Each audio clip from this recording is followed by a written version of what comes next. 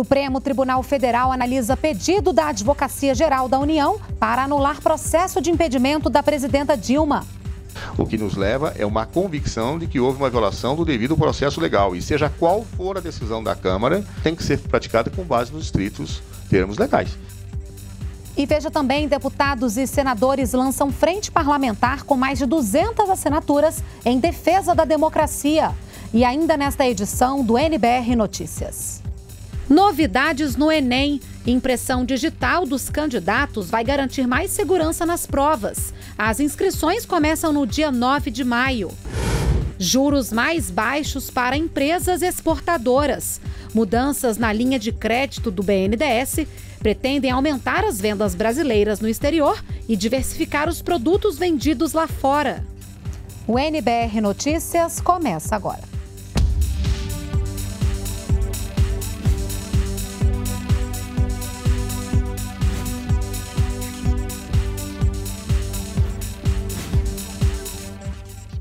Olá, boa noite. A Advocacia Geral da União pediu ao Supremo Tribunal Federal que anule o relatório do processo de impedimento da presidenta Dilma Rousseff, que será votado no próximo domingo na Câmara dos Deputados. Quem tem mais informações ao vivo para a gente é a repórter Thaisa Dias. Thaisa, boa noite. Boa noite, Renata. A ação da Advocacia Geral da União não questiona o mérito das acusações, e sim o vício processual. É que, segundo o pedido, o relator, quando apresentou o parecer na Câmara dos Deputados, tratou de assuntos que não estavam previstos. Hoje à tarde, o Supremo Tribunal Federal convocou uma sessão extraordinária para analisar o pedido da AGU e outros questionamentos em relação ao rito do impedimento. Nesse momento, está sendo analisada uma ação que pede que o STF analise a maneira com que será feita a votação do parecer no plenário plenário da Câmara dos Deputados, que está prevista para este domingo. Inclusive, a sessão ordinária de julgamentos do STF, que estava prevista para hoje à tarde, foi cancelada para que os ministros pudessem analisar essas ações envolvendo o rito do impedimento. Também hoje à tarde, em entrevista aos jornalistas, o ministro da AGU, o José Eduardo Cardoso, explicou por que foi pedida a anulação do parecer apresentado na Câmara dos Deputados. O ministro da AGU disse que o relator da comissão especial não só citou assuntos que não estão nas denúncias acolhidas pelo plenário da Casa, como também mencionou fatos fora do período de mandato da presidenta Dilma Rousseff. A denúncia que foi recebida é, pelo presidente Eduardo Cunha foi uma denúncia fundada apenas em dois pontos. Claro, que são, respectivamente, a abertura de seis decretos de crédito adicional e a chamada situação decorrente do Plano Safra, que vulgarmente é chamada de pedaladas do ano 2015. Na medida em que se discutiu tudo nesse processo, na medida em que houve uma discussão de tudo nesse processo, já houve aí uma contaminação do processo. Por quê? Porque se tratou de outras denúncias, fazendo com que os parlamentares é, ao julgarem a questão, ao avaliarem a questão, estivessem falando de outros fatos que não da denúncia. Há fatos da denúncia original que sequer dizem respeito ao período em que a presidenta da República exercia mandato de presidente. Há fatos que dizem respeito a quando ela era ministra. Ora, como se pode falar em crime de responsabilidade de um presidente de algo que é estranho às suas funções? Ele lembrou que o processo de impedimento tem aspectos políticos e jurídicos e ressaltou que a ação da AGU questiona apenas o processo legal encaminhado na Câmara dos Deputados. Por maior que seja a natureza jurídico-política de um processo de impeachment, ele é jurídico. É, tem que ter um pressuposto. Estou discutindo o pressuposto. Eu simplesmente ultrapassar os pressupostos jurídicos para fazer avaliações das quais não há defesa, nem, está, nem são a razão de ser do processo, é absolutamente ilegal e inconstitucional. O advogado-geral da União ainda negou que a ação no Supremo tem a ver com especulações de votos contra ou a favor do impedimento na Câmara dos Deputados. Eu arguí na defesa, não foi acolhido. Seria estranho que eu não fosse à justiça, não é verdade? É, vocês mesmos me perguntavam durante a semana inteira quando que eu iria à justiça. Eu diria no momento oportuno. Eu nunca disse não irei. Claro, ou seja, não é uma avaliação política que nos leva à impetração desse mandado. O que nos leva é uma convicção de que houve uma violação do devido processo legal. E seja qual for a decisão da Câmara, e que vai, eh, caso aprovada, orientar eventualmente uma decisão do Senado, tem que ser praticada com base nos estritos termos legais. Então, não passou por nenhuma avaliação política, mas de respeito a direitos.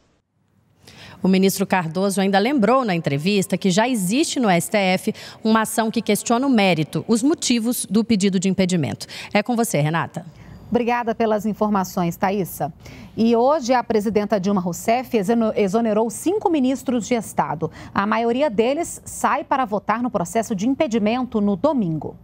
Quatro dos cinco ministros de Estado exonerados nesta quinta-feira têm mandato de deputado federal e pediram para sair do ministério com a intenção de participar da votação no próximo domingo do processo de impedimento da presidenta Dilma Rousseff. Marcelo Castro, que ocupava a pasta da saúde, é do PMDB e diz que, independentemente da orientação do partido, vai votar contra o é impeachment. Nós sempre convivemos, desde a origem do PMDB, com os contrários. O que é que nós nós queremos? O respeito às posições divergentes, como nós sempre respeitamos as divergências dentro do partido. Mesma posição de Celso Pancera, também do PMDB, que ocupava o Ministério de Ciência, Tecnologia e Inovação e diz estar convicto de que não há motivos para o impedimento seguir adiante. Né, eu tenho a minha convicção formada.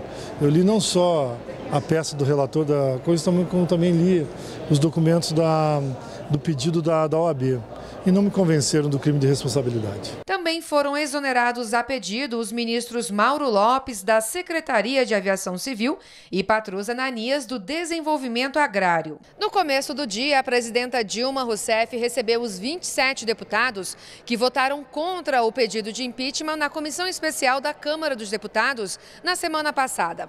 Na saída, os parlamentares disseram que a presidenta agradeceu o apoio e se mostrou otimista em relação à votação de domingo. O presidente agradeceu e reiterou que não tem crime de responsabilidade impeachment sem crime de responsabilidade é golpe então estava aqui o campo da democracia no Brasil hoje. Na esplanada dos ministérios, um muro vai separar os manifestantes que quiserem acompanhar a votação no gramado. O esquema de segurança é de responsabilidade do governo do Distrito Federal, mas a Força Nacional de Segurança Pública também estará à disposição para atuar em caso de emergência. Nós colocamos a Força Nacional à disposição, a pedido do senhor governador do Distrito Federal ela vai, sobretudo, se concentrar em proteger o patrimônio federal, os edifícios em que se encontram os ministérios. Né? Ali nós faremos, vamos dizer, uma concentração dentro dos ministérios e estaremos à disposição, em caso de emergência, para intervir uh, para garantir a lei e a ordem. E durante o café da manhã com deputados que votaram contra o parecer da comissão de impedimento na Câmara, a presidenta Dilma Rousseff reafirmou que lutará até o último instante. Foi o que mostrou o blog do Planalto. Segundo o blog, a presidenta evocou a esperança e a coragem como aliadas daqueles que lutam pela democracia e ainda reafirmou que lutará até o último instante e disse: Nós vamos e eu em especial, lutar até o último minuto do último tempo. A presidenta ainda avisou aos deputados que a luta será travada em todas as instâncias, no parlamento e na justiça. Segundo a nota do blog, ela lembrou também que esse espírito de luta continuará no dia seguinte da vitória contra o impedimento. Foi lançado um site chamado Em Defesa da Democracia, onde é possível conferir, por exemplo, as pautas positivas para o Brasil que ainda aguardam votação no Congresso Nacional. Entre elas, a ficha limpa no serviço público e o projeto de criminalização do Caixa 2, que torna crime a prática de doações sem registro na prestação de contas. Para saber mais, é só acessar a página www.emdefesadademocracia.gov.br. Deputados e senadores lançaram hoje uma frente parlamentar com mais de 200 assinaturas em defesa da democracia. Ao vivo do Congresso Nacional, o repórter Ricardo Carandina tem os detalhes. Carandina, boa noite. Olá, Renata, muito boa noite a você e a todos. Bem, o documento que dá origem a esta Frente Parlamentar pela Democracia tem a assinatura de 185 deputados e 30 senadores de vários partidos, inclusive de oposição. A líder da frente, deputada Luciana Santos, do PCdoB de Pernambuco, explicou a importância da frente para a defesa da democracia. Nós vivemos no país de uma jovem democracia. É? Nós passamos 21 anos é, de, de autoritarismo. Né? E é preciso que a gente possa desenvolver na sua plenitude aquilo que é o bem mais caro de qualquer nação. Porque nós sabemos que na Constituição está previsto o impeachment, mas tem que ter crime de responsabilidade. Não é? Tem que ter fundamento legal. E está mais do que comprovado que não, que não há crime de responsabilidade cometido pela presidenta Dilma. Então é preciso respeitar a vontade popular, a vontade das urnas. Foram 56, 54 milhões de brasileiros que votaram com a presidenta Dilma. E, na verdade, domingo será mais um terceiro turno das eleições em que nós vamos fazer um verdadeiro plebiscito. Aqueles que são a favor né, da democracia vão dizer não e aqueles que são contra a democracia vão dizer sim. O deputado José Guimarães, líder do governo aqui na Câmara dos Deputados, também falou sobre a criação da frente. Essa frente, o papel que os movimentos sociais estão tendo, os artistas, intelectuais, gente de toda natureza, basta ter compromisso mínimo com a democracia para se mobilizar nesse momento contra o golpe. Esse golpe não tem parâmetro, ele é um golpe travestido de, de, de democrático, mas ele é uma afronta à Constituição e à legalidade democrática. E deputados da base aliada comentaram ainda o mandado de segurança protocolado pela Advocacia Geral da União no Supremo Tribunal Federal contra o processo de impedimento da presidenta Dilma. A Advocacia Geral da União toma uma medida importante. Né? Se nós temos um processo viciado, se nós temos um julgamento que precisa ser feito de forma técnica e que está acontecendo única e exclusivamente de forma política, eh, não há nenhuma dúvida de que é preciso questionar isso também do ponto de vista jurídico. Então, a, a, o que o, a AGU está propondo neste caso é exatamente uh, fazer com que este tema possa ser discutido de forma mais técnica, de forma mais consistente, para que a decisão sobre um tema tão importante para a democracia do nosso país não seja tomada única e exclusivamente no âmbito político. E Renata, agora à tarde, aqui na Câmara dos Deputados, profissionais ligados ao direito entregaram à líder da Frente Parlamentar pela Democracia documentos contrários ao processo de impedimento.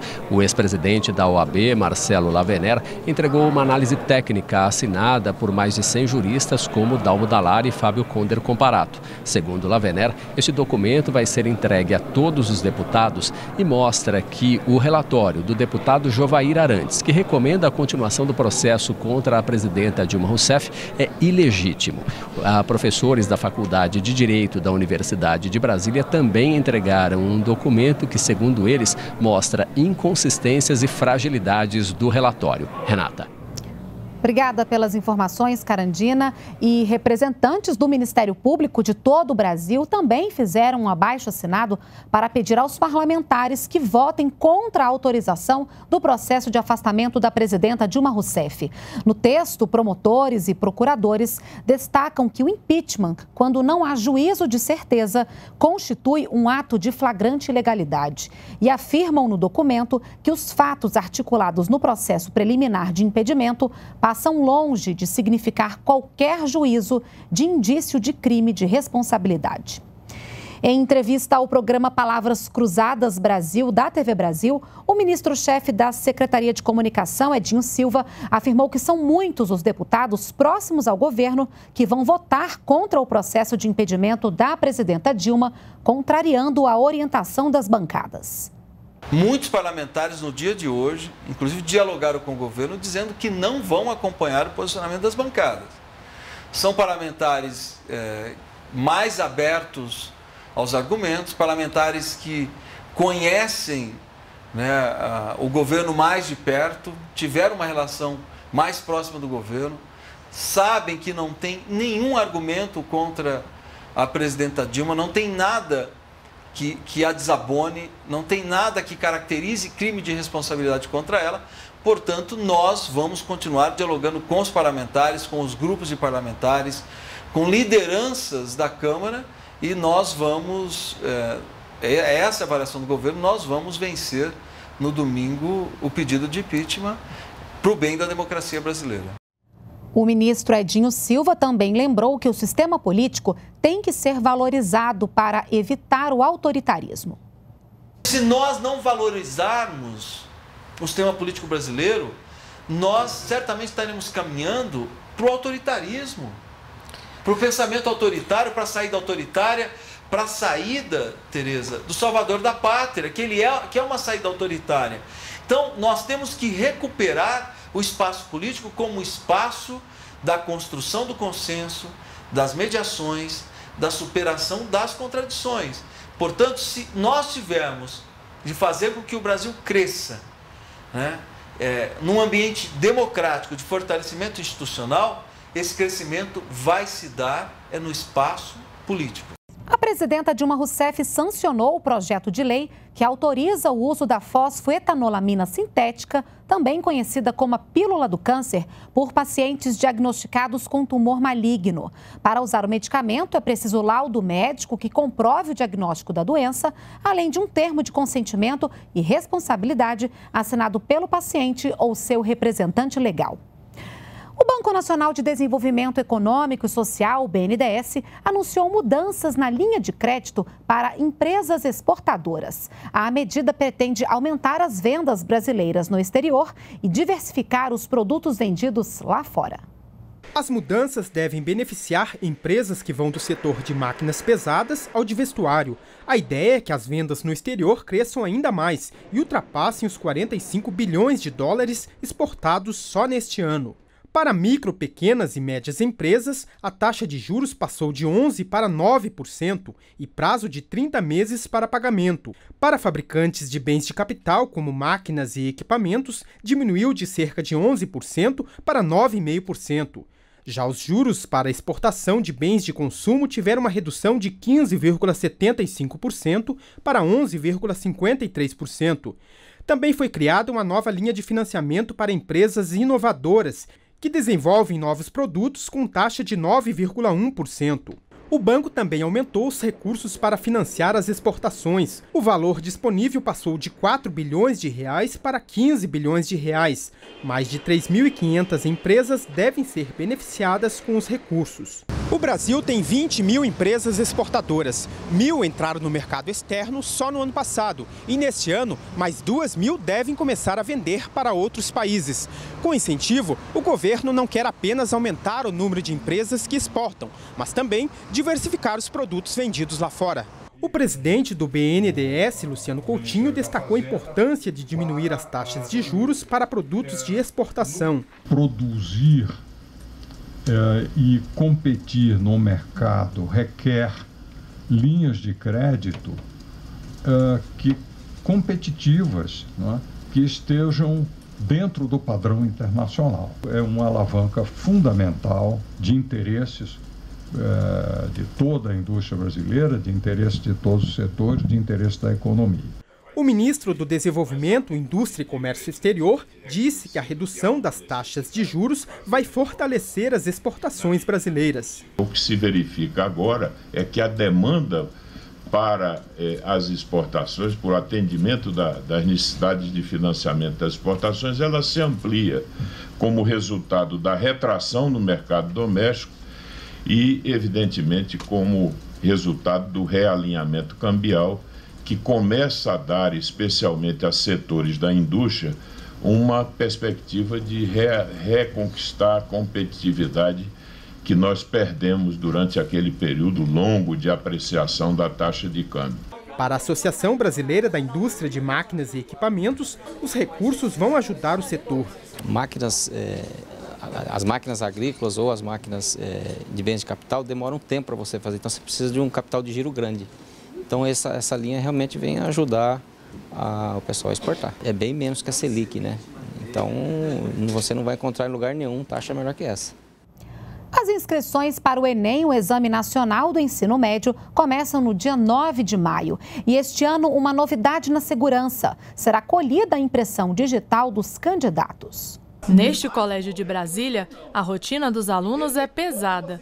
O objetivo é tirar uma boa nota no Exame Nacional do Ensino Médio. O Enem é o principal acesso para as universidades públicas brasileiras. Também serve de seleção para programas do governo como o ProUni, que oferece bolsas para instituições particulares, e o FIES, que disponibiliza financiamento com juros baixos a alunos carentes. Nessa época a gente tem muita pressão do que escolher, então a gente precisa de um pouco mais cuidado do que a gente vai escolher e precisa ter uma nota boa para conseguir isso. E eu estou me preparando, comprei bastante, bastante apostilas, muitos livros de exercício para poder resolvê-los durante o ano e ter um bom resultado, se Deus quiser, no, no final do ano e poder entrar numa universidade pública. As inscrições do Enem 2016 começam dia 9 de maio e vão até o dia 20. As provas serão aplicadas nos dias 5 e 6 de novembro. O cartão de confirmação. Novamente, nós vamos fazer. Não tivemos nenhuma dificuldade com o cartão de, de, de fazer de forma eletrônica e economizamos, no ano passado, 18 milhões de reais. Então, eles vão receber os cartões de confirmação na página do participante. Ou seja, não precisamos enviar pelo correio. Uma das novidades deste ano é que o estudante poderá pagar a taxa de inscrição em qualquer agência bancária, casa lotérica ou agência dos Correios. Até o ano passado, a inscrição era paga apenas nas agências do Banco do Brasil. Além disso, a segurança no local das provas vai ter novidades. O candidato vai fazer a identificação biométrica e os dados vão ficar numa ficha de identificação digital feito pelo INEP, Instituto Nacional de Estudos e Pesquisas pesquisas educacionais. Vai ficar a digital de quem está fazendo. Ou seja, não há possibilidade de um fazer por outro, mesmo que seja parecido, porque vai ficar a impressão digital de quem fez e a prova pode ser anulada, além de outras providências legais e penais, a qualquer tempo depois de realizada a prova.